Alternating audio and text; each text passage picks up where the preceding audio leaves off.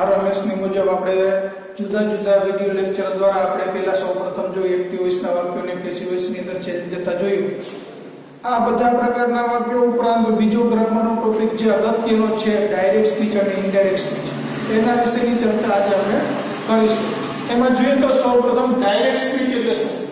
direct direct એટલે સીધે સીધી એક વ્યક્તિએ કહેલી વાત એના એક સ્વરૂપે મૂકી દેવામાં રજૂઆત કરવામાં આવે એને ડાયરેક્ટ સ્પીચ કહેવામાં છે એના શબ્દોમાં લેસ માત્ર ફેરફાર કરવામાં આવતો નથી તેને ડાયરેક્ટ સ્પીચ કહે છે પછી બીજું ડાયરેક્ટ સ્પીચને હવે ઇનડાયરેક્ટ સ્પીચની અંદર ચેન્જ કરવું કેવી રીતે કરવું પણ આ વાત એવી છે કે કોઈ પણ વ્યક્તિએ રજૂ કરેલી વાત છે એ ડાયરેક્ટ આપણે બીજાને કહેતા એમાં ઘણો ઘણો ફેરફાર થતો હોય છે પણ એ જ વાતને ત્રીજી વ્યક્તિને કહેતા અને ડાયરેક્ટ વાતમાંથી ઇન્ડાયરેક્ટ સ્પીચ કે હું વાત કરતો બીજા લોકો બીજો છે એ ત્રીજાને કહે એને ઇનડાયરેક્ટ હું સીધે સીધી વાત કરવાને બદલે સામેની વ્યક્તિની સાથે વાત કરું એને બદલે વાયા કરું એને ઇનડાયરેક્ટ સ્પીચ કહે છે આ રીતની વાતને ઇનડાયરેક્ટ સ્પીચ કહેવામાં આવે છે તો આજે મિત્રો આપણે ડાયરેક્ટ સ્પીચના વસ્તુને ઇનડાયરેક્ટ સ્પીચમાં કેવી રીતે ચેન્જ કરવા એના વિશેનો અભ્યાસ આપણે કરીશું આ બાબતે આપણે આગળ વધવા માટે હવે સૌપ્રથમ આપણે એમાં કયા કયા ફેરફારો થાય છે એને આપણે રજૂઆત કરીશું બરોબર તો સૌપ્રથમ આપણે તો ચાલો મિત્રો હવે આપણે વાક્યને ડાયરેક્ટ સ્પીચમાંથી ઇનડાયરેક્ટ સ્પીચમાં ફેરવતા કેવા કેવા ફેરફારો થાય એના વિશેની થોડીક આપણે ચર્ચા કરીશું જો ડાયરેક્ટ સ્પીચનું વાક્ય આપેલું હોય તો એ વાક્યને ડાયરેક્ટ સ્પીચના વાક્યને ઇનડાયરેક્ટ સ્પીચની અંદર રૂપાંતર કરતી વખતે મુખ્ય ત્રણ ફેરફારો થાય છે પહેલો ફેરફાર તો સર્વનામોમાં ફેરફાર સર્વનામની અંદર ફેરફાર ડાયરેક્ટ સ્પીચના વાક્યની ઇનડાયરેક્ટ સ્પીચની અંદર ફેરવતા મુખ્ય ફેરફારની અંદર પહેલો સર્વનામોમાં ફેરફાર એ આપણે જોઈશું ત્યાર પછી નંબર બે ડાયરેક્ટ સ્પીડના વાક્યનું ક્રિયાપદ છે ઇન્ડાયરેક્ટ સ્પીચની અંદર ચેન્જ થાય ત્યારે એના ક્રિયાપદનો ક્રિયાપદની અંદર પણ ફેરફાર થાય છે કાળક્રમમાં ત્રીજો ફેરફાર સ્થળ અને કાળની સમીપતા સૂચવતા અથવા સમય સૂચક શબ્દોમાં ફેરફાર નજીકતા દર્શક શબ્દો હોય તો દૂરતા દર્શક શબ્દોમાં રૂપાંતર કરવું વગેરે આવી રીતે વાક્યને આપણે ડાયરેક્ટ સ્પીચમાંથી ઇન્ડાયરેક્ટ સ્પીચની અંદર ફેરવવું મુખ્ય ત્રણ ફેરફારો થાય છે એમાં સૌ પ્રથમ આપણે સર્વનામમાં ફેરફાર એનું કોષ્ટક જોઈએ ચાલો મિત્રો આપણે સર્વનામનો ફેરફાર એના વિશેની વાત કરીએ તો સર્વનામનો ફેરફાર જો પ્રથમ પુરુષ એકવચનનું સર્વનામ આય કર્તવ્ય વ્યક્તિનું મી છે કર્મયુગ વ્યક્તિનું સંબંધિત વ્યક્તિનું માય એવી રીતે I me my mine myself આપેલું આપેલું હોય તો ડાયરેક્ટ સ્પીચમાંથી એને ઇનડાયરેક્ટ સ્પીચ એટલે કે પ્રથમ પુરુષના હોય ત્યારે એને ઇનડાયરેક્ટ સ્પીચની અંદર ફેરવતા બોલનારના લિંગ અને વચન પ્રમાણે ફેરફાર થશે તે આપણે આગળ જોઈશું ત્યાર પછી પ્રથમ પુરુષ બહુવચન માટે કર્તા વિભક્તિનું વી કર્મ વિભક્તિનું અસ અને સપદ વિભક્તિનું ઓવર એવી રીતે ઓવર અને ઓવર સેલ્સ ત્યાર પછી સેકન્ડ પર્સન બીજા પુરુષના જો સર્વનામો આપેલા હોય તો you you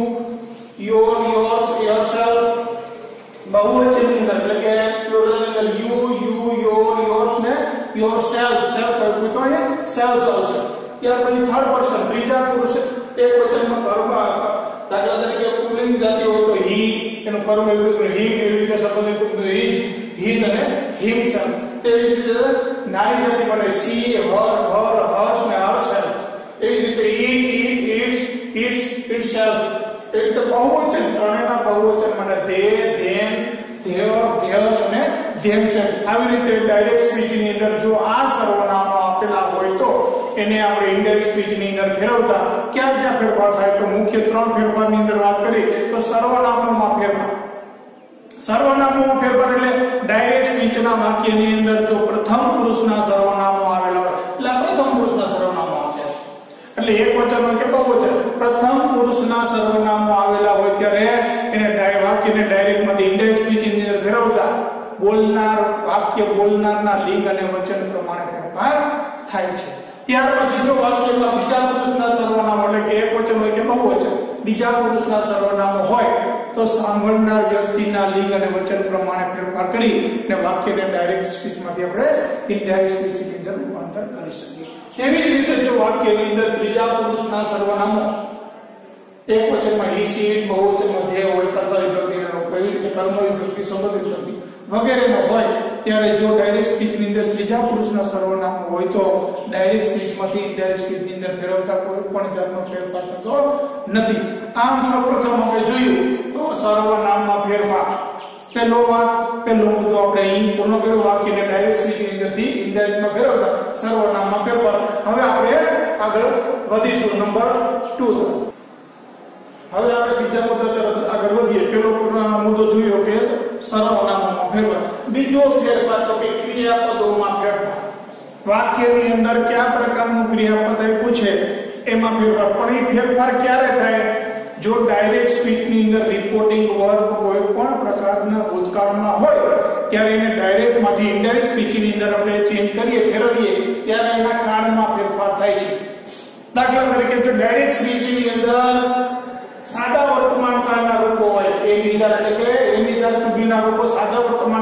તો હોય તો ડાયરેક્ટ સ્પીચ ની અંદર કે સાદા ભૂતકાળ માં ફેરફાર છે એટલે કે સાદા વર્તમાન કાળ નું વાક્ય છે તે સાદા ભૂતકાળ માં ફેરફાર થાય તેવી રીતે જો ડાયરેક્ટ સ્પીચ ની અંદર સાદા ભૂતકાળ ના વાક્ય એટલે કે ટુ બી ભૂતકાળ નું રૂપાંતર હોય તો છે ને ભૂતકાળ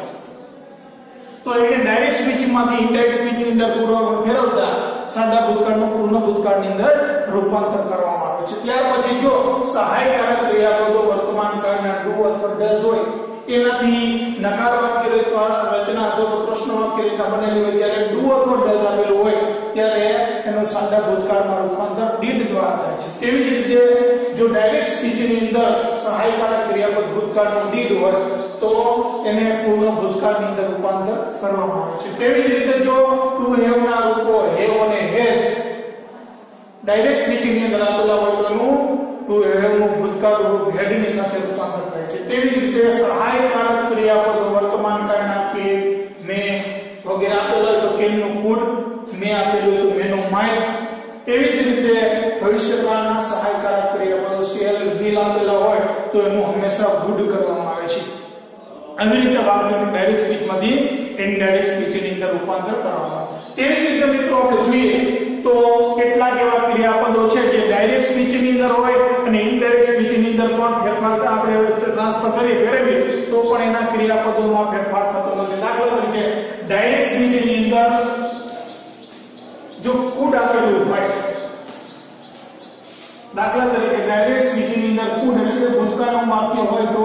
તેના કારણે ફેરફારનો નથી એ જ રહે છે તેવી જ રીતે કૂડ આપેલો હોય તો એનો મૂડનો મૂળ જ જે છે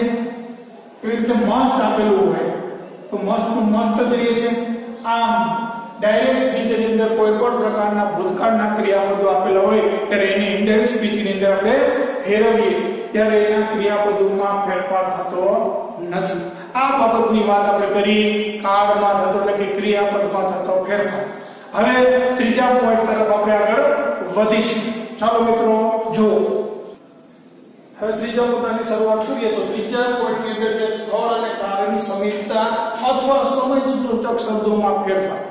તેમાં સૌપ્રથમ તો ડાયલેક્સપીચની અંદર ધીસ આપેલું એટલે નજીકતા પરક્ષક શબ્દ ધીસ આપેલું હોય તો એનું દૂરતા દર્શક શબ્દ 1.5 માં રૂપાંતર થાય 1 પોઈન્ટમાં એવી રીતે ધીસ આપેલું હોય તો પોચન માં રૂપાંતરનું ધોજ માં રૂપાંતર થાય એવી રીતે નજીકતા દર્શક શબ્દ ધીર આહે આપેલું હોય તો in their speech in the Reno देर थाई के व्यतीत समय टुडे टुडे आप लोगों को z दे तो z ने करूं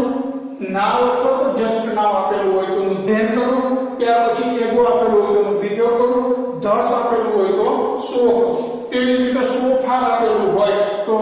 3 દેમ કા એ પ્રમાણે આપણે નજીક તદસ શબ્દો તદસમે દર્શન શબ્દોમાં મે પર તદ ઉપર આ જો ડાયરેક્ટ સ્પીચની અંદર સમય સૂચક શબ્દ યસ્ટરડે આપેલો હોય તો એનું ધ પ્રીવિયસ ડે અથવા તો ધ ડે બિફોર કરવામાં આવે છે જો last year last week last month અથવા લાસ્ટ યર ડાયરેક્ટ સ્પીચની અંદર આપેલું હોય તો ઇનડાયરેક્ટ સ્પીચની અંદર ફેરવતા ધ પ્રીવિયસ વીક અથવા ધ પ્રીવિયસ મંથ અથવા તો the